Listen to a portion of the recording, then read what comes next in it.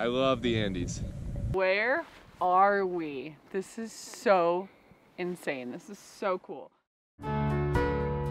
We left home to travel the world and brought work with us. Follow the journey as we immerse ourselves in cultures around the globe and inspire others to do the same. We're Brandon and Erin. Subscribe and stay tuned. So we had to take a taxi to Terminal Terrestre where we're catching a bus that'll take us to Cajas National Park. I think the bus will take about 45 minutes to an hour and then we'll have the day to explore. It only costs us $4 total to take the bus where to take a tour would cost like $100 at least.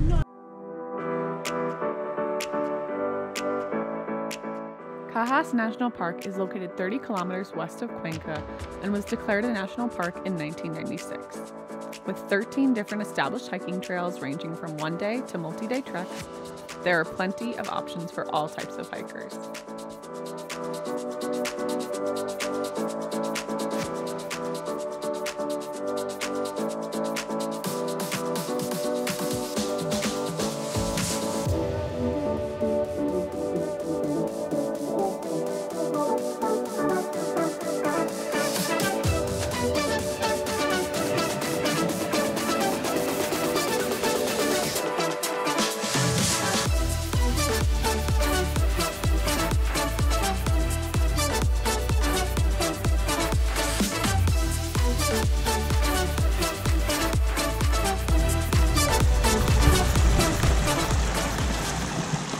So we are in Cajas National Park. and we are about to do the pink colored trail, which is the Route 1 trail. We're heading around this lake, up to the mountains, and it's not an up and back. We'll take a bus back down. It's about a four hour hike, I believe. And already we have stunning views. I just wish it was a little warmer. Hopefully the sun will come out later. We are both breaking in our new hiking boots. both got Merrells. It is pretty windy here and it's just making it even colder. So I think we're gonna try to start hiking a little faster, get the blood flowing. So our hands aren't so cold. Really my ears that are really cold. What do you think, Bran? So beautiful. Every step we take is like another incredible view. I love the Andes. I have a bad reputation with rivers, so here we go. Ah!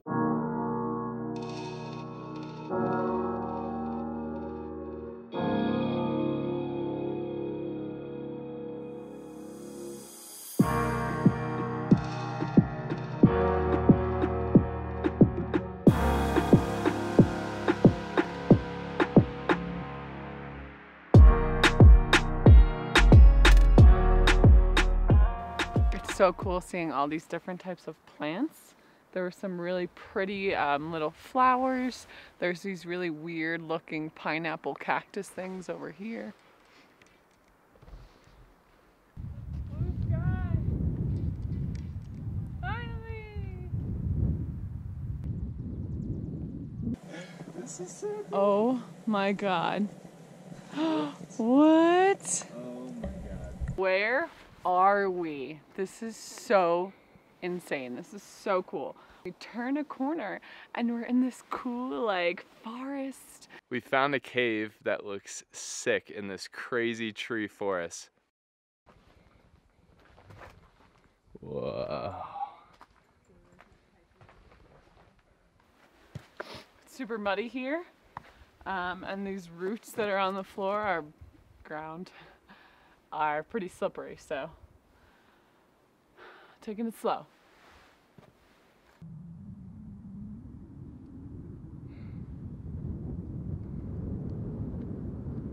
Babe, you have to see this. This is so sick. This hike is so cool. I love the type of hikes where everywhere you're going, you can have a view rather than reaching the top of a mountain and then there's your vista. And over here we've got a rock that seems to be split in half by lightning. Or thunder or earthquake.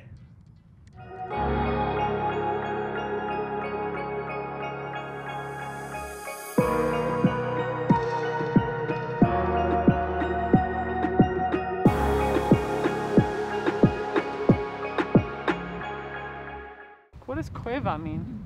Maybe we could translate that. cave. Okay. If we wanted to do a cave. Do you want to go in the cave? Not really. Scared. You know what lives in caves? Bears. And it is winter. How does Erin feel about that? We can look into the forest, but I don't want to go like in the cave. Okay.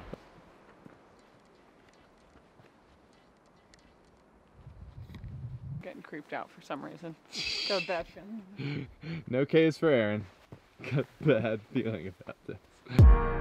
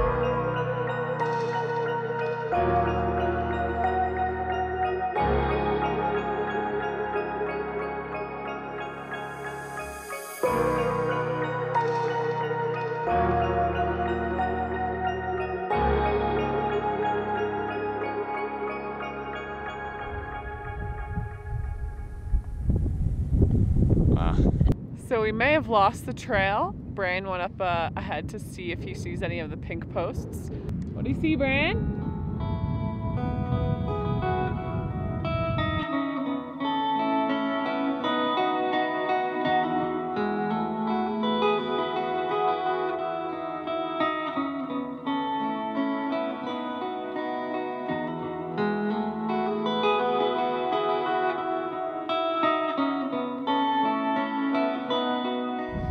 Right, so we just finished lunch.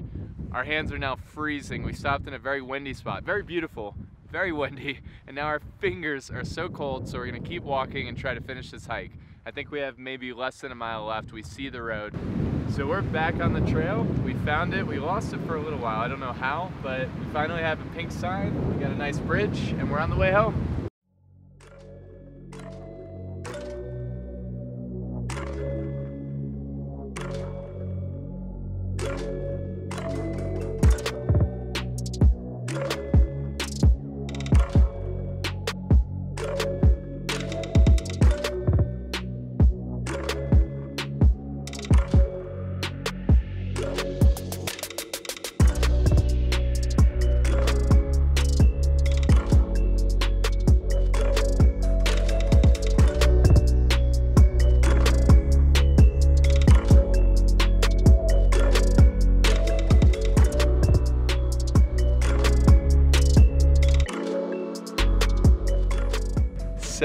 We've come to a fork in the road. There's two different directions we could go. Thank- Both with pink trails. Thankfully, we found another guy on the trail and he had a map. So he showed us that one of the trails goes back to the visitor center and another one just goes to the side of the road. But we were supposed to take the route that goes just to the side of the road and then we can hail a bus. So I think that's what we're gonna do. It seems a little counterintuitive, but that's all right. I think it's gonna be much shorter and hopefully we can catch a bus. And we have this lovely sign glimmer of hope. Vámonos.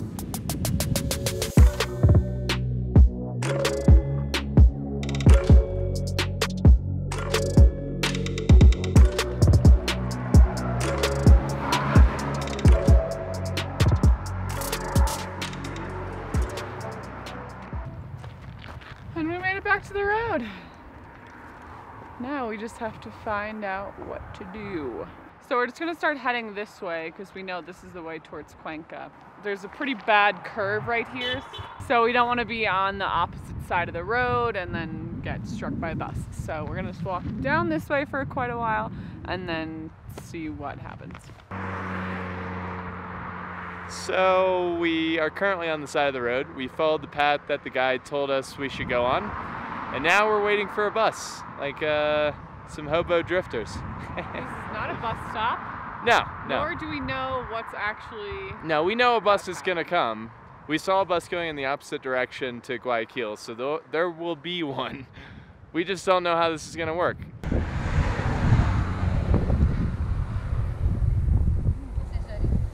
Es una cama. Es como cama.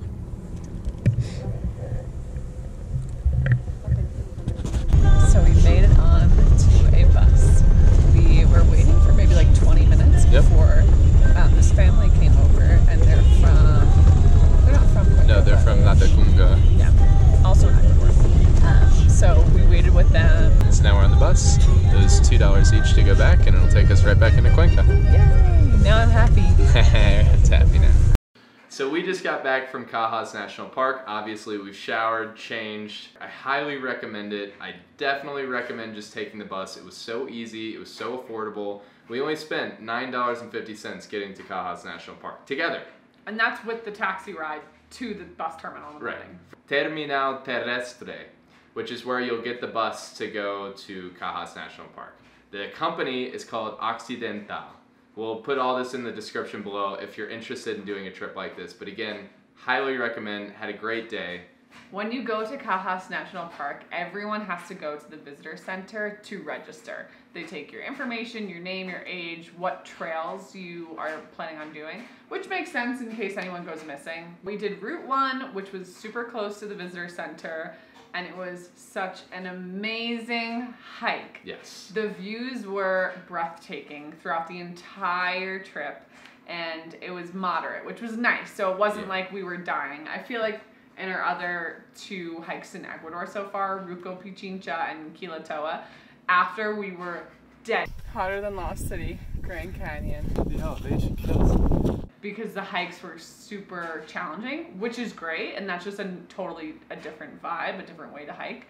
So it was nice today just to go like a moderate hike, beautiful views. If you want to just enjoy your day, take a nice stroll through absolutely beautiful scenery, mountains, lakes, rivers, forests, do Route 1. Everything. It had everything. Now we're going to Parque de la Madre. We're going to have some food, maybe go to a brewery later. Um, but this is a park that our Spanish teacher highly recommended. So- Shout out Sol. Hey Sol, not the sun, the person. if you're new here, we put out new videos every Sunday, so go ahead and subscribe so that you're alerted for all of our videos when they come out. And give us a thumbs up. Stay tuned. We'll see you next week.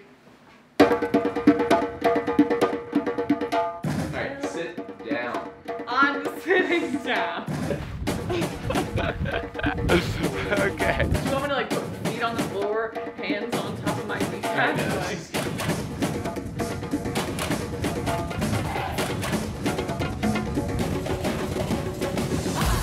photograph in elementary school and they're like, Yeah, they're like, put your hands in Echo!